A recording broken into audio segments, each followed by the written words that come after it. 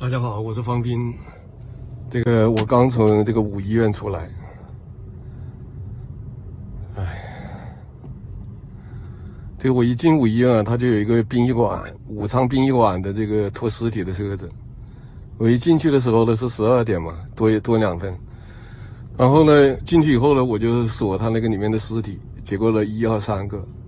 然后等我去这个呃这个门诊去转一转，大概也就五分，也就是呃五六分钟吧，因为他要拖尸体，他要拖嘛，这红灯，他要拖那个尸体，他就就有点时间嘛，就是五分钟我出来，他就装的有八个尸体，就是我数了一下八个尸体。然后我进到里面去，他那个诊室有个诊室还是可以进。我进去以后呢，里面是有一个小伙子已经喘不过气了，他已经上气不接下气了，因为他父亲要死了嘛，打电话已经说不出话了。然后我去这个去看了一下，他那个生命特征就是基本已经完了，就算是已经死了吧，就是只是在蹦啊蹦，有有点那个就是动啊动那种。就是急速动啊动就那种，就是快完了，也是快死了。然后我从那出来以后呢，他那个又在抬尸体，那个管装尸人他说尸袋尸袋，他就喊叫拿尸袋，里面究竟有几个这个就不知道了，因为他可能就是中午来收一次呗，什么时候再来收一次呗，就这么一个情况。看来五医院五医院看来死的这个比较多。这个新闻报道，这些报纸都不来报道。好，那我就先往那个，我再去看一下他们说的那个国际博览中心的物资吧，看那边的物资究竟这个是不是积压，有还是没有，我再去看一下吧。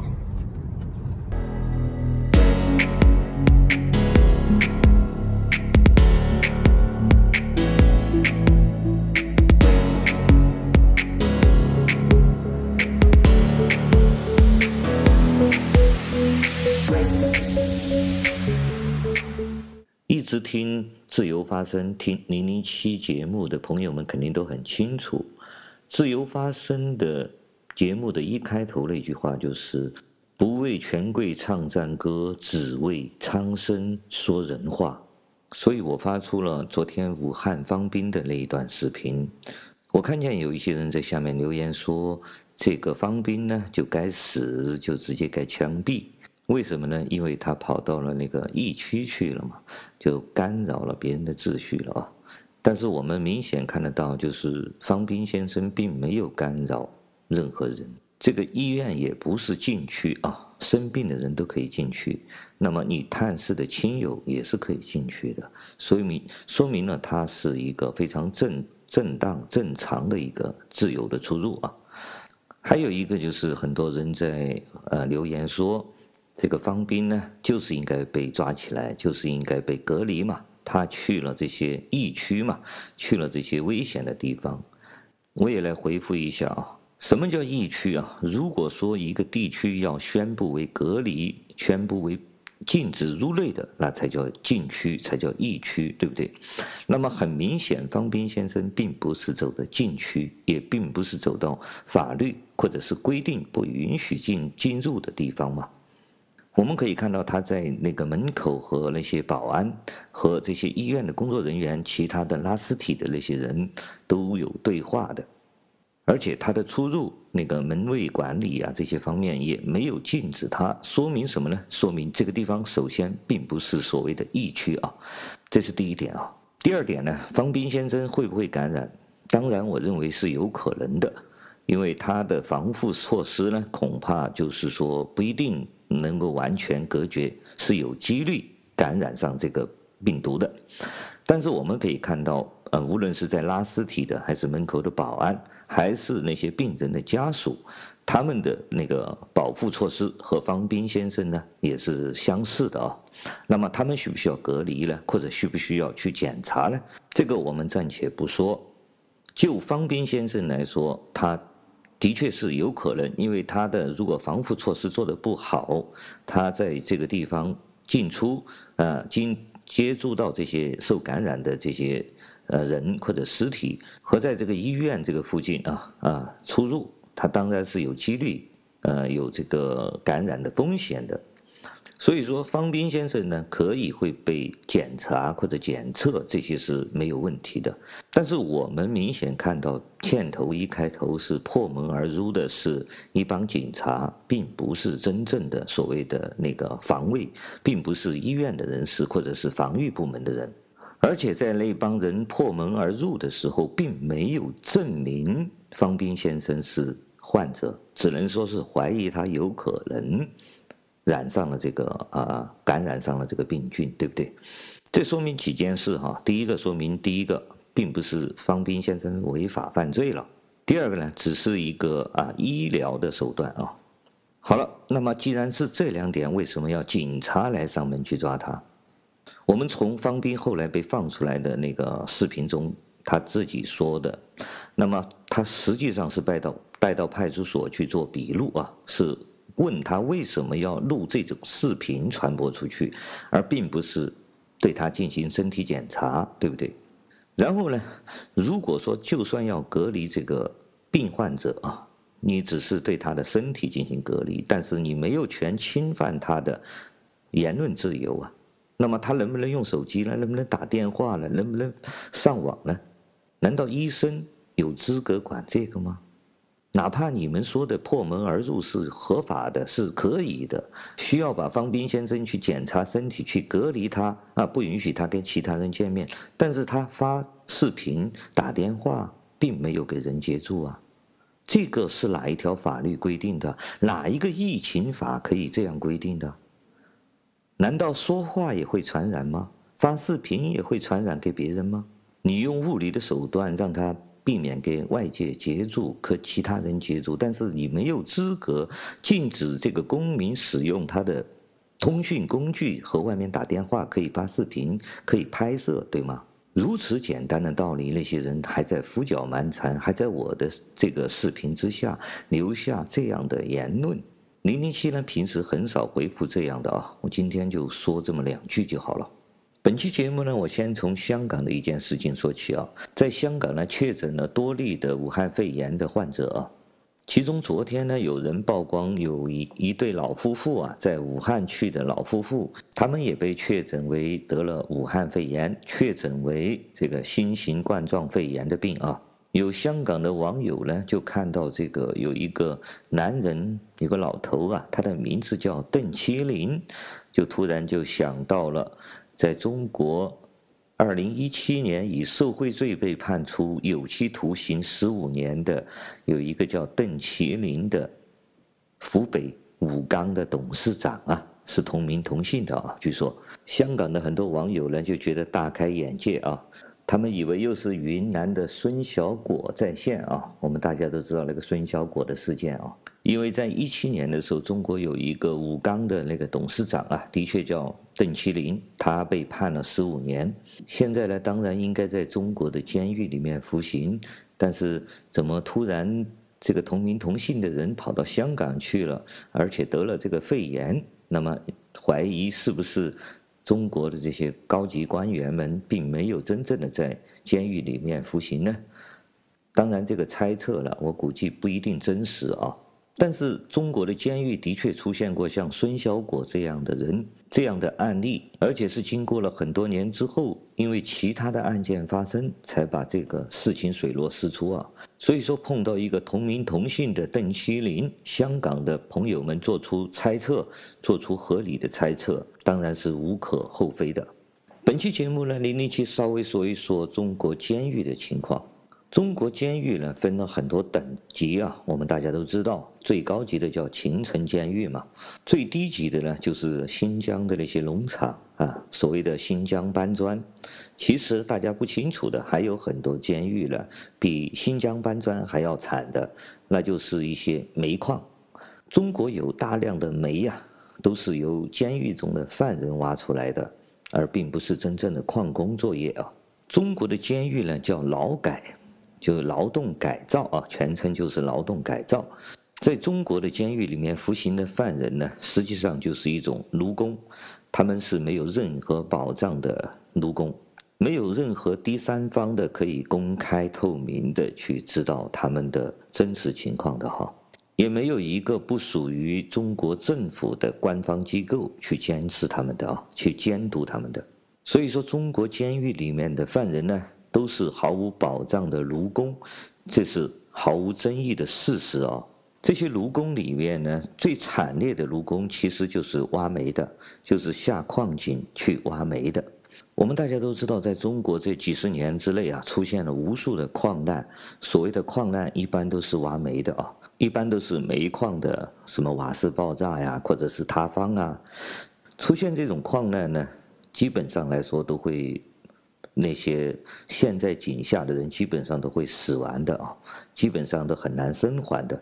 所以说，这种煤矿一旦出事故呢，几乎都是一个矿井里面几十个、几百个人都会全部死掉的，全部都无法营救的啊，造成很大的这种灾难，人道的灾难。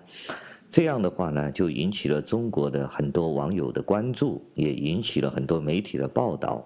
所以说，在近几年呢，中国政府呢，因为安全的原因呢，关闭了很多这种小煤窑。但是我知道的呢，在中国监狱的这种煤矿呢是没有停工的啊，他们永远都没有矿难事故发生的。为什么？因为他们不会对外报道，也没有任何人可以报道得了。所以说，在中国监狱里面的劳改犯，挖煤的劳改犯，他的这个死亡率是不会人为人所知的。他们死了多少人，这个数字呢，是永远也不会有人去追究这个真相的，也不会有人知道的啊。零零七呢，接触过一些煤矿的这种劳改场啊，这种不叫农场，这叫劳改场。以后呢，我会在节目中给大家披露一些事实，披露一些具体的情况啊。今天呢，我只是给大家泛泛而说。那么我们知道了，最惨烈的、最最低层的啊，最死亡率最高的就是这种挖煤的劳改农场。这是中国的劳改犯、中国的服刑犯最不愿意去的地方啊。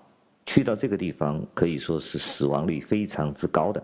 这是最不好的这个监狱啊，然后就是一些种田的种田的农场呢，相对来说死亡率不会很高，但是呢，现在呢，因为我们知道种田赚不到钱，大家都知道啊，种田是没有任经济效益的啊，所以说现在种田的农场是比较少的啊，那么就去变成做手工啊，做了一些加工。做工厂的就比较多了啊，这是普遍的中国的一个监狱的情况。但是我说的这些全部都是对普通中国人的监狱啊，对普通的中国的罪犯的一些监狱的管制措施啊。这些罪犯在这些监狱服刑呢，除了就是做奴工啊，不管是挖煤的，还是做手工的，还是种田的，他们就是终日的就要干活。这些犯人呢，会见家属的时间也是有限的啊，一个月按法律规定是可以探监三次的啊。这个探监呢是非常的严格的，我们在电视里面也看得到啊，是隔着一个玻璃呀，打电话，或者是在专门的会客室里面啊，见上一个小时到半个小时之间，旁边呢要有警察看管着。这就是中国的普通人，普通人如果违法犯罪了，被抓起来了。就是这么一种待遇啊。那么我要说的是，还有很多中国的监狱是我们听所未听、闻所未闻的。比如说像秦城，我们虽然听过，我们知道是关押那些高级官员的，但实际上呢，每一个省呢都有一些高级的监狱。这种监狱呢，一般的就叫疗养所或者叫医院啊，监狱的医院。监狱的医院，顾名思义呢，就是给那些囚犯做那个身体检查呀，或者是给他们治疗病的这个医医院嘛。但它实际上是一个半军事化、半封闭的监狱，因为在监狱医院里面的人，大部分都是犯人，而这些犯人呢，在每个省里面呢，都属于处级以上干部才能进的监狱啊。也就是说，只有行政级别达到处级以上的领导干部，才有资格在这个医院里面去服刑。这个监狱的医院呢，和普通的监狱相比，就是一个天上，一个地上啊。这些领导干部们在这个监狱里面是服刑，因为大部分都是贪污腐败案被抓起来了啊，然后关在这个监狱里面服刑的犯人。他们曾经都是什么市长啊、县长啊，或者什么书记之类的官员啊。他们在监狱里面干什么活呢？他们在监狱里面基本上都是颐养天年啊，什么读书啊、看报啊，或者是打打太极呀，或者是修呃那个环境非常的漂亮啊。这种监狱医院呢，一般是园林式的那个设计啊，他们就可以在山上去啊拔拔草啊、修修花呀。还有领导干部们啊，年纪可能也比较大一点了，他们又有医生在旁边给他们治疗，就成了他们的一个疗养所、疗养院啊。不仅空气清新啊，远离市区的那个嘈杂和烟尘，在一个世外桃源一般的一个监狱的那个山林之中啊，退隐，相当于是这种概念啊，那是活得非常的潇洒，非常的舒服的。在这种医院里面呢，在这种监狱的医院里面呢，还有一个非常与众不一样的、与普通监狱想都不敢想的那个场所啊，这个就叫探视大楼。这个探视大楼呢，是按照三星级或者四星级的标准建立的一栋楼啊。